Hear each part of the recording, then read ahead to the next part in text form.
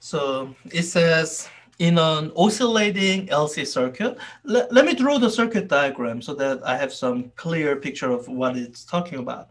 So LC circuit, um, in the very simplest sense, it basically has two things, L, the inductor, and C, the capacitor. And that's it. Technically, you would need something to initially charge this up or something, but you know, make things simple. Just assume that something has initially charged this up. And what you have to just deal with now is um, behavior of the circuit after it's been charged up. Uh, it says the maximum, it's giving me the maximum charge on the capacitor. Uh, let me label that Q naught.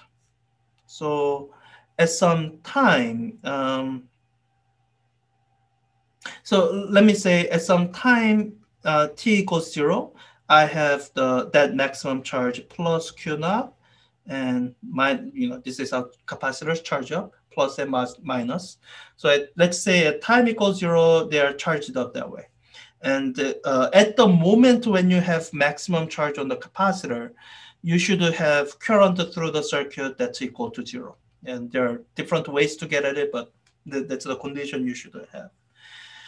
And then the question is giving me the maximum current through the inductor. Let me color code this and label this as I naught. And this is going to be at some different time. So let me say at some time T1. This is a moment in time when you have the maximum current I is equal to I naught flowing through the inductor. And um, yeah, I guess that's just the thing. Uh, that's the current flowing through the inductor. And I guess uh, if I had to say something, when you have a maximum current flowing through the inductor, the voltage difference across the inductor, it's going to be zero because the when current is maximum, it's not changing, which means the you know from the relationship for the inductor, um, the the voltage difference is L di dt, the voltage difference is equal to zero. So, and uh, this also means the charge stored on the capacitor would be zero. So, so that's at another different time. So with that, it's asking, oh, what is the period of oscillations? Did it even? um, okay, so I hope it, um, well, not hope. So, you know, it's leaving me a little bit um, lost at the moment because it's told me it's LC circuit. It's told me these parameters, but it hasn't told me uh, what these parameters are. So you might be remembering this formula. Omega is equal to 1 over root LC. And what I'll tell you is that um, um, that's not useful right now because I'm not given L or C. So, you know, this and the other formula, you know, frequency is omega over 2 pi, and the, the period is 1 over frequency. All of these, not useful. So I'm going to have to try something else to figure out the frequency of oscillation. So let me do what I would do um, when I feel lost. I, I can write down, start writing down some other things I know about this circuit. So I can write down the um, charge on this capacitor as a function of time.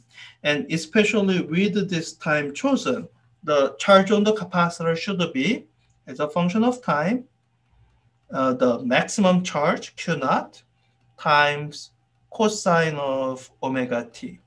Or if I want to make the math more simple for myself later, 2 pi um, frequency times t, or if I want to make it even simpler for myself, it's really 2 pi divided by period times t. And I'm looking for this period.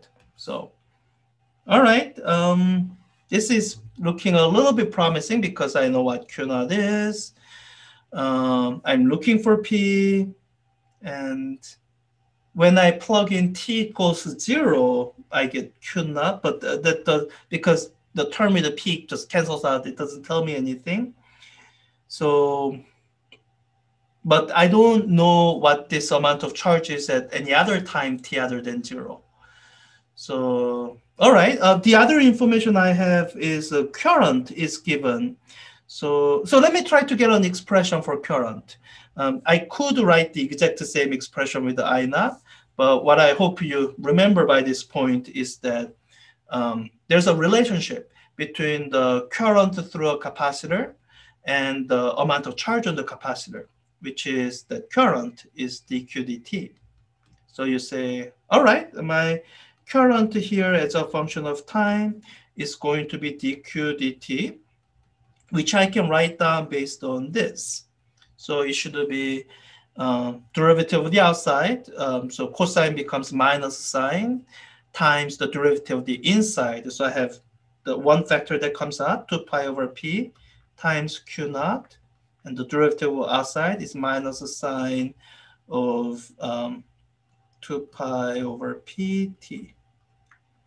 And and this is getting somewhere because um, as I stare at this expression for a while, I recognize that this particular combination must be the amplitude of oscillation for current. So this must be I naught. So I finally have equation I'm looking for, which is um, 2 pi over p times q naught is equal to I naught. And this is an equation where there's a single unknown and everything else is known. Q naught and I naught are known. So I do now finally write down um, period P is equal to 2 pi Q naught divided by I naught. So it's I, I hope it's an unexpected expression that um, that somehow just from knowing the maximum charge on capacitor and maximum current through inductor that you can figure out the period of oscillation. And uh, yeah it's um, it's one of the reasons we physicists love oscillatory phenomena uh, because it, there's a lot of things you can figure out about oscillatory phenomena from uh, really disparate uh, pieces of information. So I, you know, I'm gonna say oscillate. If you take uh, more physics, like upper division physics, physics 4C, oscillation is one thing that you will see in almost every physics class. You see it in quantum mechanics. You see it in um, so. Anyways, I'll leave it there. So, all right. Um, it says okay. So that's the period of oscillation. Um, and for part B, the time between when charge on capacitor is zero and when it holds maximum charges. So I guess I need to figure out what fraction of period that should be. Uh, I, I, think this is where it's useful to have some figure draw to help me think through this clearly. So I'm going to just sketch one or slightly over one period of oscillation for Q of t. So um, so based on this expression here, it looks like a cosine. So it's gonna start out at maximum value Q naught. as it oscillates, it's gonna go to zero and reach the, oh, right, right. At some point, it's gonna reach the maximum minus Q naught, by which I mean these two locations will flip.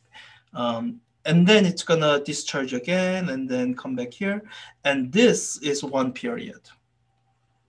So one period isn't simply going from uh, the maximum amount of charge to another maximum amount of charge. It's uh, you have to come back to the same sign. So with the way part B is worded, time between when the charge on capacitor is zero, so either this point or this point, and when it holds maximum charge. I would say both the here and here are related to maximum charge. So it's asking for a quarter of a period. So that's what I should have here.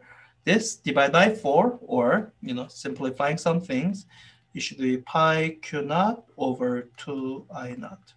You know, watch the uh, powers of 10 and the prefixes and make sure you're putting it in uh, milliseconds. So.